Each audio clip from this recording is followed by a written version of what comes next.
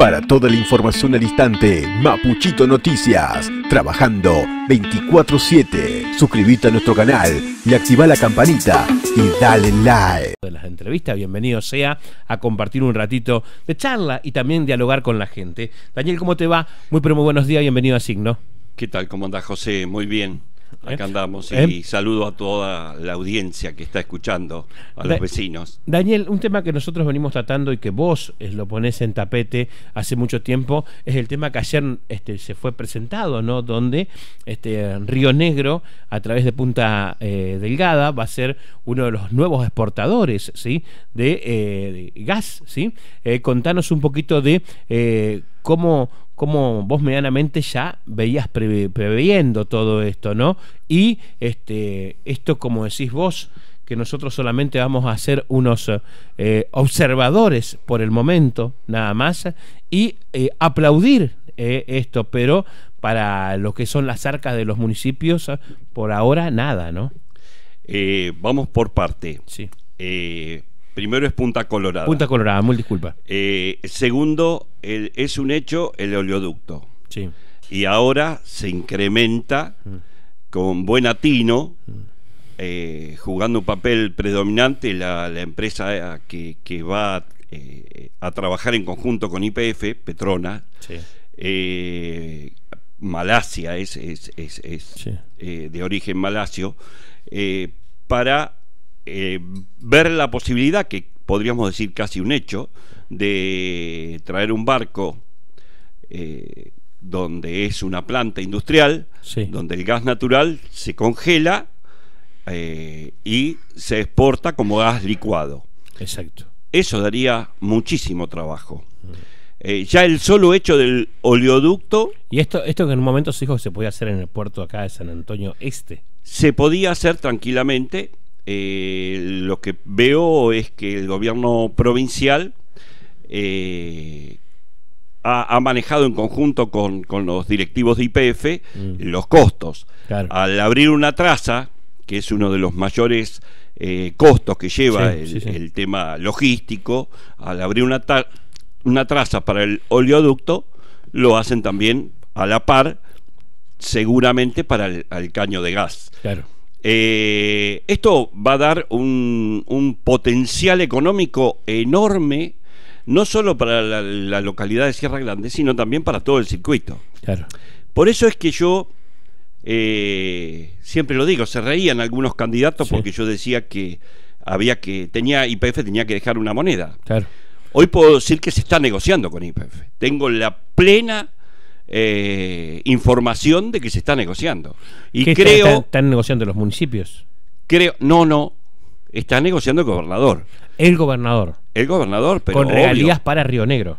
con, re- con las regalías las, las cobra las regalías petroleras las cobra el municipio y la provincia del cual el petróleo sale de Neuquén lo cobra Neuquén Neuquén. y Río Negro va a cobrar las regalías de gas porque es parte de- del territorio Sí. río negrino pero esto no eh, discúlpenme eh, yo hablo así a calzón quitado Sí, pero porque pasa que, creo por que ejemplo, por ejemplo eh, si llega, Dios quiera que nunca suceda nada, ¿no? Pero llega a su- suceder algo, sucede en territorio rionerino. Y Eh, entonces los riesgos los corremos nosotros. No solamente ter- territorio rionegrino, sino la costa. Y el mar. Acá estamos poniendo algo en juego y en esto hay que ser claro. Mm. No somos be- bebé de pecho. No vinieron a IPF no viene a Sierra Grande y a la zona atlántica y al Golfo San Matías porque le gusta eh, Sierra Grande y, Claro. y- no. O porque El punto ayudar. tiene que ser ese. O El o porque porque- todo lo que todo toda decisión que se toma se calcula económicamente. Da la casualidad que la plataforma marina en, en ese punto eh, le da la posibilidad de que entren buques eh, de gran calado. Claro. Por eso las, las boyas, de, va a haber dos boyas de, de carga que son eh, van a estar a 6 kilómetros. No así está todavía, eh, porque estos son dos proyectos. Yo hablo espe- específicamente del oleoducto primero. Sí. ¿Cuál es el tema? Para mí, yo lo dije en su momento, se me reían. Yo digo, si por regalías, si por regalías, hubo, eh, eh, Neuquén cobra entre 8 y 12%, Claro. ¿cómo eh, el circuito atlántico no puede cobrar 5 puntos de lo que se exporta? Claro. Sí, sí, sí. Bueno, exacto. Pero para esto, los interesados tienen que ser los protagonistas de la política. No podemos estar mirando la película sentadito en el sillón tomando café. Claro, intendentes, concejales y legisladores. Sí, yo, yo, yo creo que por lo menos el- el- la cabecera del circuito es San Antonio Este. Sí. Entonces, a ver, yo lo invito al señor intendente, que le sobra capacidad, para que eh, invite a los demás municipios, en conjunto, crear una, una, una estrategia para plantearlo. Claro. No sea cosa que algunos se coman la tajada de la torta y el circuito quede con, la, con las migajas. Claro, como digo yo, mirándolo, un buen observador y aplaudidor. Eh, yo, eh, en base a la información que tengo, hoy por hoy, el circuito atlántico cuenta con cinco legisladores. Históricamente la primera vez que tiene Sí. cinco legisladores. Es. Cuatro son de San Antonio. Y una- tranquilamente, Y tranquila. una, y una y uno de Sierra Grande. y una de Sierra Grande. Tranquilamente puede ser un bloque dentro de la legislatura y decidir un montón de leyes que van a salir. Entonces tenemos la posibilidad de, en el buen sentido de la palabra, de golpear la mesa. Yo creo que sí. Eh, vos has estado en política, Sí, sí, vos sabés cómo se, se manejan las cosas. Entonces, Tiene, eh, perdón que te lea mensaje, Mm. Sí. Daniel, sí. Tiene mucho razón si no se va a quedar con los sobre los políticos. Eh, ese, eh, lo que dice Oscar. Otro mensajito más. eh, miran a Sierra Grande porque es así, es un punto estratégico para la exportación y la explotación. ¿por qué digo esto? Imagínense que eh, Argentina tiene una costa muy amplia de, de- de, mm, eh, costa marítima. Sí. pero los costos son los que juegan acá. De la, desde Sierra Grande para toda la Patagonia, la costa es profunda. A- Ahí a, a rajatabla, a, a pocos kilómetros, pero ¿cuál es el tema? La distancia. La operatoria se, eh, se mide en dinero. Entonces, el punto estratégico es Sierra Grande. eh, es el Golfo. ¿Y qué más se mira del Golfo? Que está eh, dentro de un Golfo, está protegido, no es mar abierto. Bueno, entonces, pongámonos los pantalones largos y, y vayamos a la mesa de negociación, Claro. teniendo en, en- en nuestras manos la posibilidad de decir, señores, a ver, vamos a arreglar esto. Exactamente. Sí, sí, sí. Eh, Eh, tal cual. sí. Eh, Yo, yo, yo opino que, que San Antonio, eh, yo no quiero que pase lo mismo que pasa con el ente del puerto, que pasa con la pesca, que ni siquiera la gente de San Antonio son los que deciden. Entonces, a ver, siempre... Eh, y mira, mm, si vamos al caso, hoy el representante ¿sí? del Consejo Pesquero es de Mar del Plata. ¿sí? Ahí yo tengo el número, le mandé un mensaje, pero no me contestó el hombre. ¿sí? Eh, porque quiero, quiero saber cuál es la política que va a llevar una persona que es abogado, que lo que decía la información, lo que no tenemos la información, por eso nos encantaría hablar con nosotros, es que no tiene mucha noción de, eh, del, del sector pesquero. Entonces acá está, y hoy por hoy se está, se están, las plantas están produciendo, y voy a esto, lo que está diciendo vos, con eh, producto de materia nacional, pe- pescado de- de- que viene de nación, ¿me entendés? Entonces, si esta persona no nos defiende, nos quedamos sin producción. eh, vos lo- le estás dando en la cabeza el clavo. Claro. Vos fijate cuántos años de bonanza, de buena pesca, de langostino ha pasado por San Antonio y realmente la hemos... Sí. eh, ¿Cuánto hemos recibido del fondo pesquero? Sí. Yo me acuerdo haber visto por televisión algunas botas, algunos equipos que se le ha dado a la terminal pesquera y discúlpenme, la moneda no la recibimos realmente. ¿Dónde va ese fondo? Claro. Eh, eh, realmente no quiero que pase lo mismo co- con, esto. ¿A Sí. qué me refiero? La inversión, fíjate el número, la inversión que se va a hacer en Sierra Grande, en Sierra Grande, en el lapso de dos años, son eh, mil millones de dólares. Estoy hablando de- esa cifra, me decir, Palomeque está bebió. Del- no, del- del es ese número. Entonces, pongámonos a, a- a ver si nuestras empresas, nuestro personal va a tener trabajo. Eh, dice, preguntarle si sabe qué fuente de trabajo va a quedar para nosotros acá en San Antonio. En San Antonio, en tanto y en cuanto nos movamos, por ejemplo, poniendo en valor tranquilamente, esto es muy personal lo que voy a decir, poniendo en valor nuestro parque industrial, podemos tener empresas de logística que van a servir después. Ah, sí. Eh, eh, y más con el tema del gas. Claro, Así, sí, sí, sí. A ver, se abre un panorama que, eh, para que tengan idea, se está hablando que en petróleo, Mm. ustedes escuchen la cifra porque es la real. En el, en el boom, cuando esté a pleno la exportación de petróleo, se está hablando de arriba de 10 mil millones de dólares que van a salir por Sierra Grande. O sea, va a exportar el país 10 mil millones de dólares. Mm. Ustedes fíjense la, la, la cifra. La cifra. Yo apunto a que el 5% quede en la zona. Y hablo del circuito, porque en esto nobleza obliga. O sea, la, eh, eh, estamos hablando de, de- Esto es como una casa. Sí, exacto. Y no se puede ser egoísta. Sí, sí, sí. A ver, de, de lo que, de lo que se consiga, el porcentaje más alto tiene que ser para Sierra Grande. Pero un porcentaje eh, para San Antonio y otro para Valcheta. Y te digo más, Mm. dentro de un proyecto que yo tenía, si, si, si hubiese sido legislador, yo lo iba a hacer a, a- a una ley provincial, iba a presentar donde esos fondos no vayan a rentas generales, sino con fondos específicos. Sí, sí, sí. Por ejemplo, una empresa mixta de, para hacer vivienda o una empresa de asfalto y cordones para, para Claro. las tres localidades. Que genere, ver, que genere fu- fuente de trabajo. a ver, eh, la exportación de petróleo, por lo menos, por lo menos, solamente de petróleo, fácil va a ser 20 años, Mm. como mínimo. 20 años.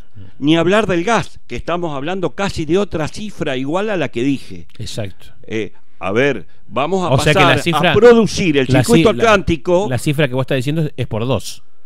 Gas y petróleo. tranquilamente, Claro. tran- como base. Saquen esta idea. Pero dice- acá dice, ¿por qué el único que habla de todo es esto? Es él, los otros hacen silencio.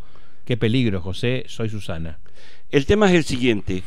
Eh, tal vez tengo la libertad de ser un simple ciudadano y poder plantear esto. Mm.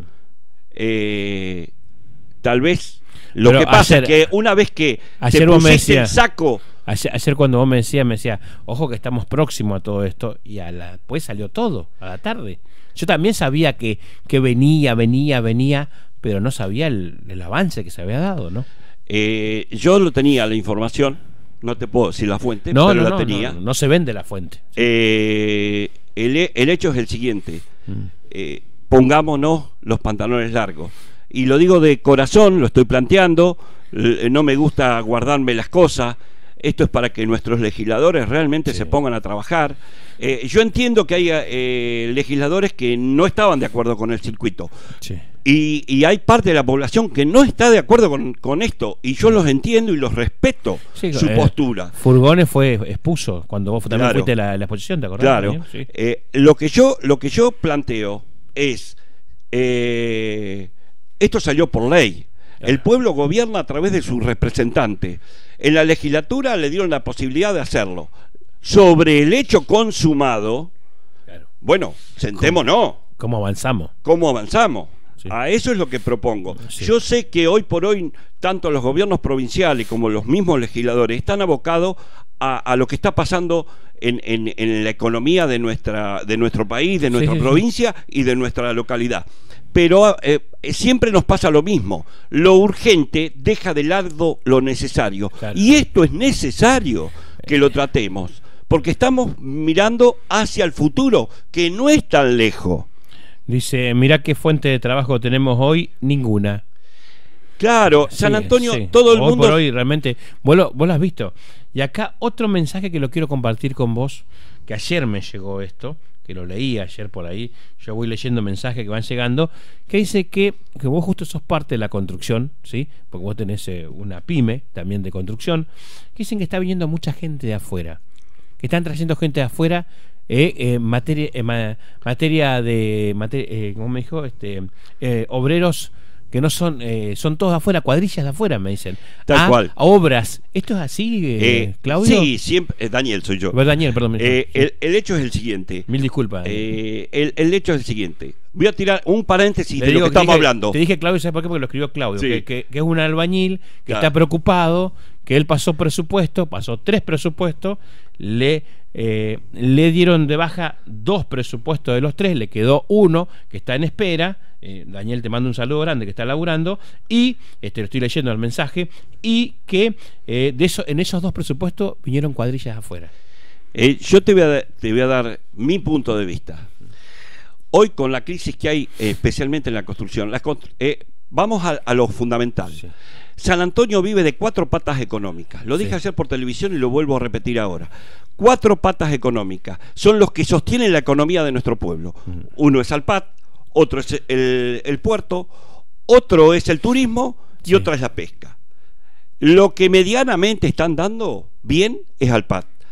Yo le dejo a criterio de los que me escuchan los otros tres. ¿Cuánto nos dejan? ¿Tenemos turismo? Bien, bien el turismo. ¿Cuántos viven del turismo y deja lo mismo que antes? o sea cuánto eh, apa- ya ahora no son ¿Cuántos cuántos meses vivís el que Ya, ¿cuánto- trabaja? ya, no solamente el empresario, el que trabaja. ¿Cuántos- ¿Cuántos meses después vive con lo que ganó en el turismo? Eh, la- una, una señora que limpia el otro día me dijo, José, trabajé 28 días. 28 días, me dijo. ¿eh? Claro. Ahí fíjate vos, cuando antes trabajaban eh, tres meses. Cuando venía el turismo, a- salió una, una nota justamente con el mismo gobierno que tenemos ahora, que estaba Casadei, Sí. y le hacen un reportaje en revista Gente. Mirá de cuándo te hablo. Oh. Pleno, plena construcción.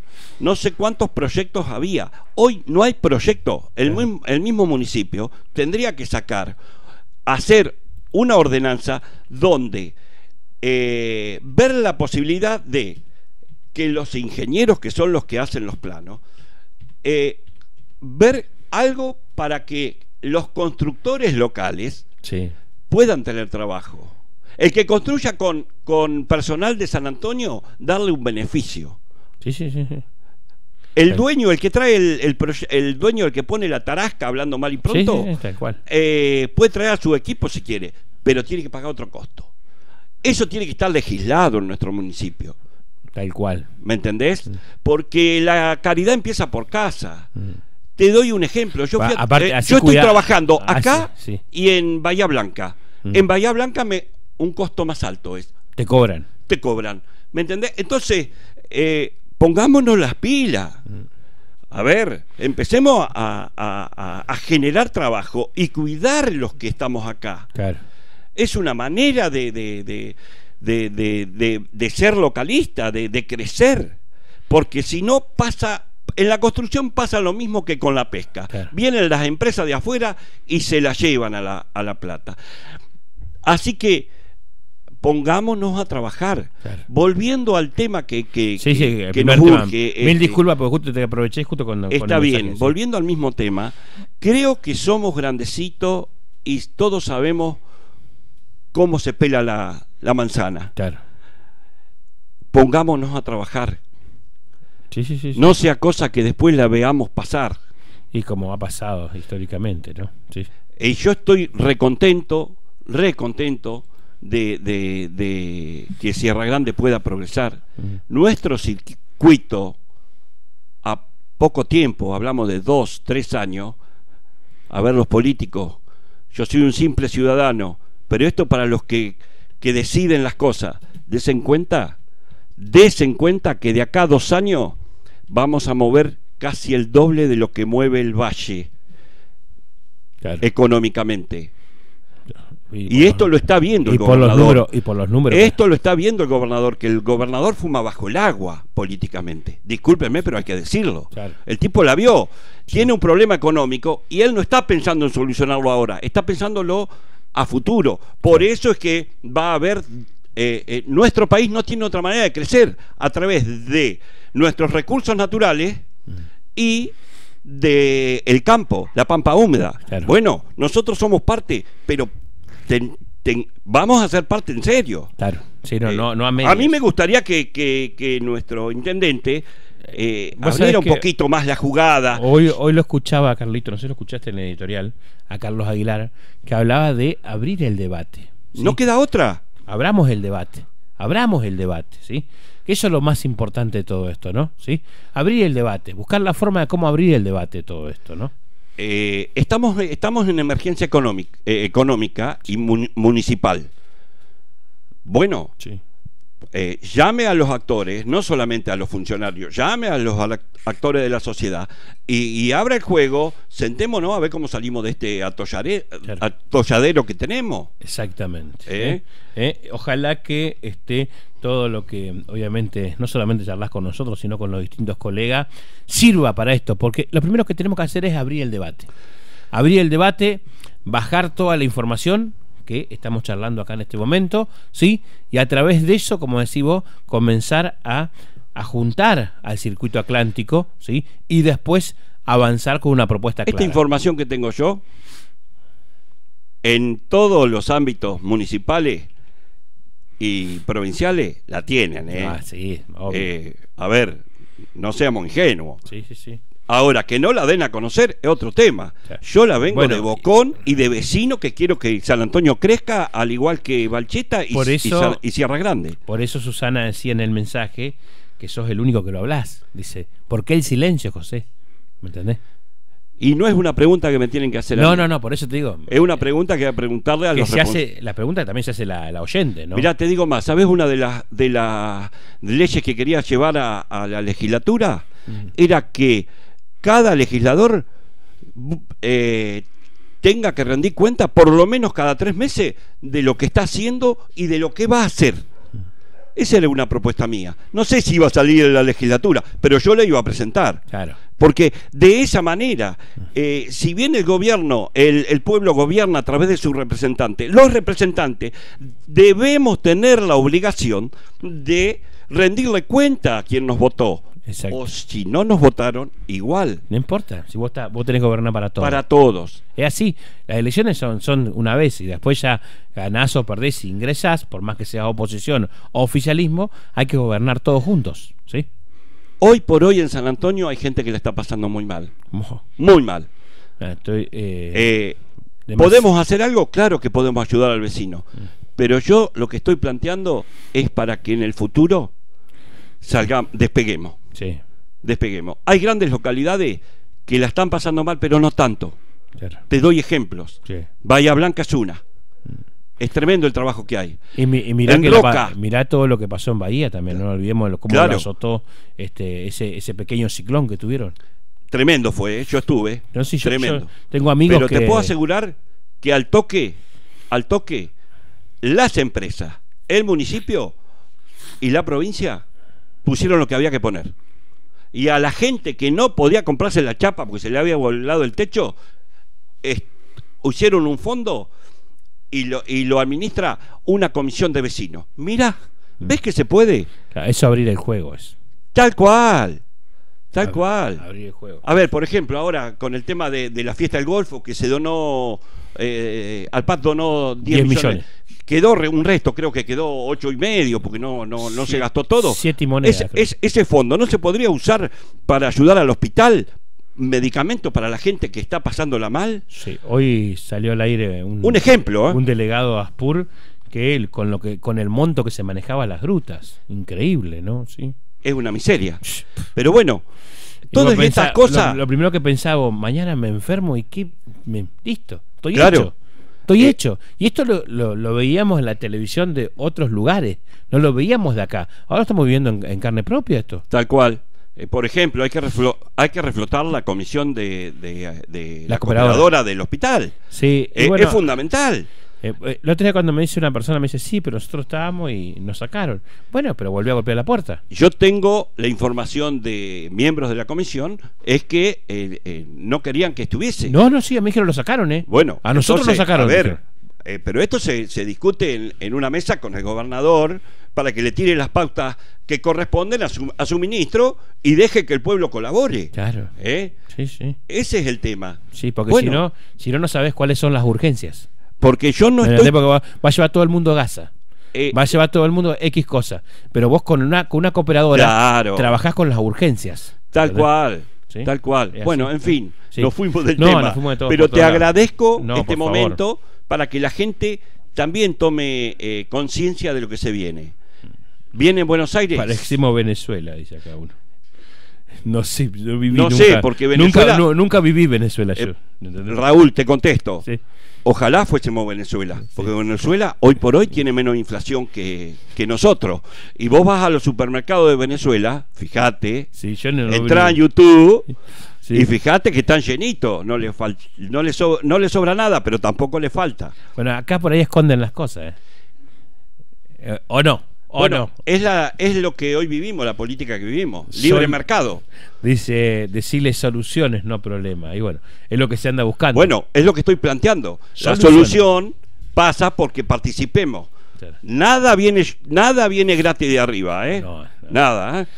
Todo Ponerse el overall, dijo, ¿no? ¿Sí? tal cual. ¿Eh? Y de Dani. overall le entiendo bastante.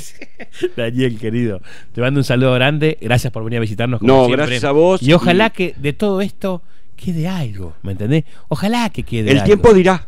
Sí, ojalá. El tiempo dirá. Dios quiera. Así que no, que no hagan oído sordo, que es lo más cual, importante. ¿eh? tal ¿Sí? cual. Que tengas buen día. gracias. ¿eh? Ahí estaba Daniel Palomeque charlando con nosotros en la mañana de Signos FM.